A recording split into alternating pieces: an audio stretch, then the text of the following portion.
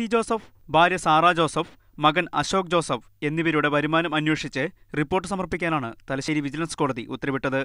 അടുത്ത മാസം ഇരുപത്തൊമ്പതിനകം അന്വേഷണ റിപ്പോർട്ട് സമർപ്പിക്കാൻ Kozhikode vigilance and anti corruption ബ്യൂറോയോട് കോടതി ആവശ്യപ്പെട്ടു. രണ്ടായിരത്തി പതിനൊന്ന് മുതൽ രണ്ടായിരത്തി പതിനാറ് വരെ കെ സി ജോസഫ് മന്ത്രിയായിരുന്ന കാലയളവിൽ ഔദ്യോഗിക പദവി ദുരുപയോഗം ചെയ്ത് വരവിൽ കവിഞ്ഞ സ്വത്ത് സമ്പാദിച്ചുവെന്നാണ് കേസ്.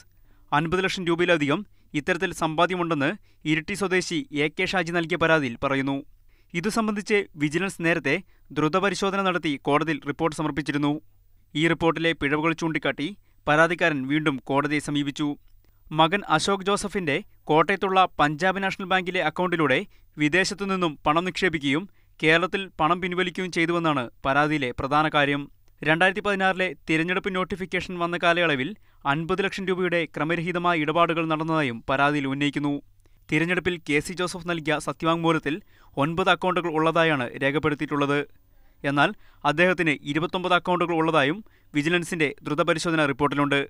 ഈ കാലയളവിൽ വൻ പണ ഇടപാടുകൾ നടന്നതായാണ് വിജിലൻസ് റിപ്പോർട്ടിലെ പരാമർശം. മാതൃഭൂമി ന്യൂസ് കണ്ണൂർ.